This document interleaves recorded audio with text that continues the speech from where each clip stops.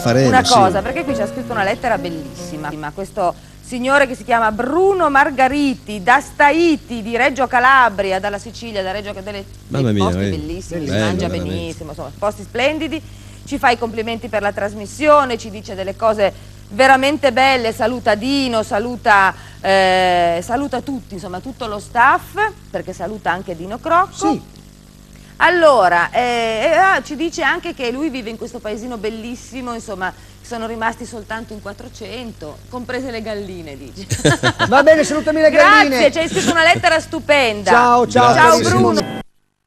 Ma qui c'è un borgo bellissimo, mezzo diroccato.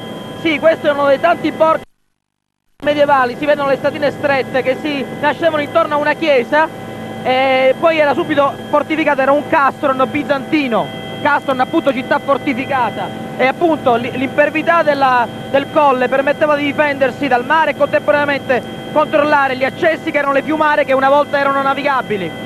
Diciamo che qui il territorio è aspro ma è veramente molto bello e suggestivo, a parte la costa che abbiamo detto è un po' cementificata, però appena si va verso l'interno si sente anche un po' il selvaggio.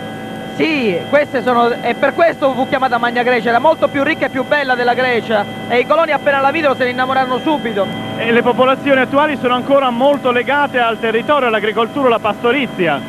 Ci sono delle popolazioni, soprattutto quelle un po' più anziane, che sono legatissime a questo tipo di rapporto col territorio. I giovani stanno cercando di fermarsi su questo territorio, di finirla con l'emigrazione che ha portato tanta gente in America e nell'Europa del Nord.